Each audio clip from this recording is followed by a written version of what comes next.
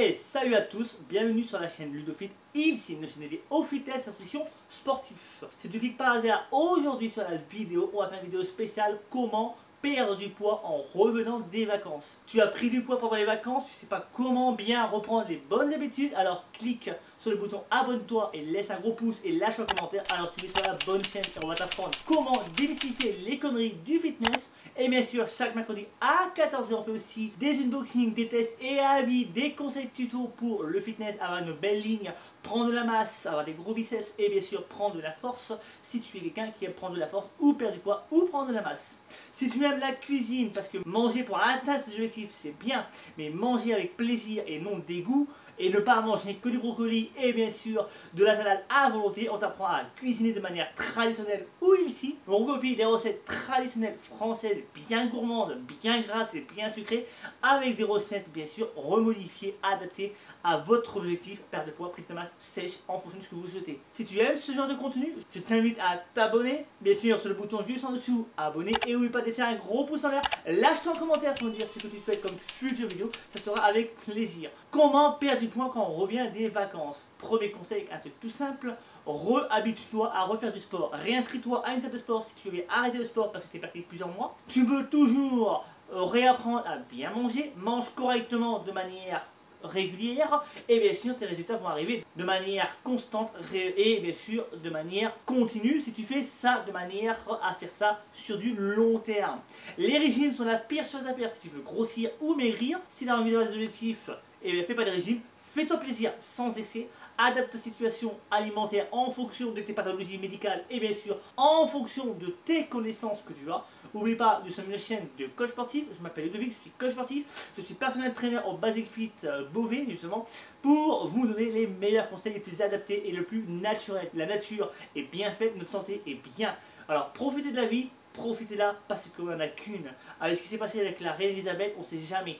La mort peut venir à n'importe quel jour. Profitez de votre famille, profitez de vos parents, de vos proches et profitez un maximum avec les événements actuellement. On ne sait pas ce qui peut arriver. Aimez votre famille, embrassez-les, profitez d'eux parce qu'elle peut partir du jour au lendemain. On a eu l'histoire, on a vu ce qui s'est passé avec, la reine Elisabeth, qui a été une très grande icône et que je tiens à rendre hommage aujourd'hui, exceptionnellement dans la vidéo spéciale conseil, parce que c'est quelqu'un qui a aidé à la libération de la France, qui a fait plein de choses pour son peuple, le peuple britannique et le peuple français. Alors, hommage à la personne qui a été, euh, comme on disait, God Save the Queen, euh, que Dieu garde bah, la reine, malheureusement là où elle est partie. J'espère qu'il y a quelqu'un qui existe en haut je ne suis pas croyant, mais j'espère que voilà, qu'elle est, euh, qu'on l'a accueillie quelque part. Je ne sais pas si je ne suis jamais mort, je ne peux pas savoir. Mais j'espère que voilà, elle sera là où qu'il faut et qu'elle sera heureuse. Parce qu'elle est partie sans souffrir. Déjà, c'est une bonne chose. On va repartir sur des conseils simples. Par exemple, si tu reprends le sport, vas-y de manière progressive et non l'extrême.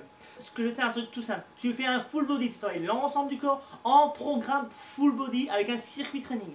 Tu fais tous les exercices en une fois, entre 12 et 15 répétitions tu vas renforcer ta masse musculaire, renforcer ton corps, préparer ton corps à reprendre l'activité sportive avec un full body, un mini-circuit, 3 à 5 fois dans la séance, et tu passes chez toi avec un peu d'abdos, cardio, euh, et un peu de, stretching si tu aimes, un peu la relaxation aussi. Qui te permet une bonne séance, bien préparée, pour reprendre l'activité sportive de manière euh, protégée et ne pas forcer. Tu as fait un arrêt pendant un mois, 15 jours, donc reprends de manière doucement mais sûrement. Bien sûr, un conseil tout simple, les charges, les attaques aussi en fonction de ton niveau. Si tu un 4, 5, 6 ans, 10 ans de muscu, tu ne mettras pas les mêmes poids que quelqu'un qui a 3 mois ou un jour de muscu. Donc, ne joue pas avec l'ego et tu verras les résultats viendront aussi rapidement. Tu veux perdre du poids, la chose est simple. Au niveau de ton alimentation, évite au maximum, au moins les deux premières semaines de reprise de sport, les fast-foods. Pourquoi? Les fast-foods sont enrichis de mauvaises graisses, donc des graisses saturées, transformées, comme l'huile de palme, euh, un taux de sucre très élevé qui a un avec, bien sûr, sur le long terme, va créer un pic de glycémie et qui va augmenter les risques de diabète et euh, autres maladies qui existent, cardiovasculaire et obésité. Donc évite au maximum pendant 2-3 semaines pour réhabituer à avoir une bonne alimentation. Par la suite, reprends-le, reprends-les bien sûr, un plaisir par semaine, de temps en temps, ça ne te fera pas de mal. Bien sûr, va pas non plus au McDo tous les jours en disant que tu vas manger de la salade tous les jours. On sait très bien que la sauce des McDo, c'est la pire merde qui existe. Bien sûr, privilégie quand même les légumes qui sont enrichis en fibres et en vitamines qui va caler l'estomac le plus longtemps. Et bien sûr, prends un peu de riz, de préférence basmati ou complet, ou des pâtes complètes si tu n'es pas intolérant au gluten, pour te permettre d'avoir un estomac bien rempli avec de l'énergie. Parce que les hydrates de carbone te permettent d'avoir de l'énergie à l'entraînement et aussi à ton boulot. Oublie pas, le sommeil est important aussi. Un bon sommeil est signe de récupération et bien sûr de résultats rapides pour la perte de poids bien sûr ou même les objectifs. Alors repose-toi bien et au minimum entre 5, 6, 7 ou 8 ou 10 heures de sommeil, ça dépend des personnes et de l'âge. Adapte-le en fonction de ta, de ta journée aussi et tu verras, un bon repos récupérateur sera bien mieux qu'un repos dévastateur parce que tu vas créer ce qu'on appelle le catabolisme musculaire et c'est pas ce qu'on veut. Tu perdre du poids va créer ce qu'on appelle l'anabolisme musculaire, donc augmenter ta masse musculaire créer de la masse musculaire pour accélérer le métabolisme basal, pour pouvoir accélérer le corps entre guillemets, hein, euh, on va dire le gras va disparaître plus vite. Je te schématise pour que tu comprennes. Chez nous, euh, chez la chaîne Ludophile ici, nous schématisons, nous vulgarisons les méthodes euh, barbares, on va dire, en science pour que tu comprennes facilement en deux mots ou trois mots. Un autre conseil qui peut te permettre aussi à t'améliorer au niveau des performances et aussi améliorer ton envie, ta motivation. Si tu aimes t'entraîner en équipe ou en famille, fais-le. Quand tu es avec quelqu'un, ça te permet de te challenger, ça te permet de te défier, ça te permet de, de réussir ce que tu ne feras pas tout seul. Ils vont t'aider, ils vont te motiver, ils vont t'empêcher d'échouer et empêcher à pas atteindre tes objectifs. Alors entraîne-toi avec des amis. Si tu aimes ça, fais-le, n'hésite pas. Au contraire, tu progresseras deux fois plus vite ils sont là pour te booster et te motiver. Un autre conseil qui est simple, tu n'es pas obligé de calculer ton apport calorique extrême de manière extrême. Tu peux manger de manière équilibrée, faire attention, attention à la pesée par exemple.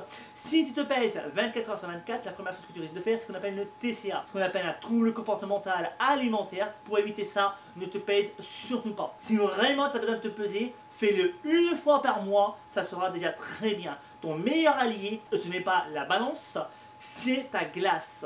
Tu prends une photo de profil sur le côté et tu la prends tous les mois ou tous les 3 mois ou tous les 6 mois. Tu fais une bonne alimentation, un bon entraînement avec des photos et tu prends la mesure de ton ventre pour pouvoir avoir la tour de, le tour de hanche. Et avec ça, tu auras des bases facile, compréhensible pour atteindre tes objectifs.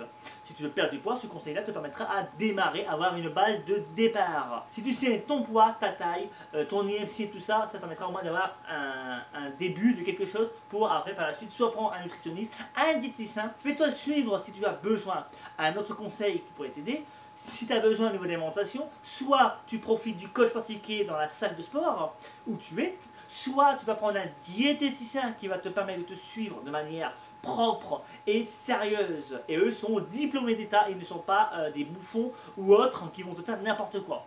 La santé et l'alimentation est une chose très importante, ne prenez pas le premier qui vient. Un coach doit toujours avoir un diplôme car c'est quand même une chose importante. Le diplôme, c'est signe de qualité et de confiance. Je ne dis pas que tous les coachs avec un diplôme sont excellents, j'en connais que c'est une catastrophe, mais si tu te formes et que tu es un bon coach, tu aimes ton métier, alors forme-toi et tu seras très content et tu deviendras de plus en plus performant. Au niveau de tes clients, tes clients seront très contents d'avoir un coach qui sourit et qui apprend des nouvelles choses. Comme aujourd'hui, avec une élève, j'ai appris des exercices qu'elle ne connaissait pas, elle était contente.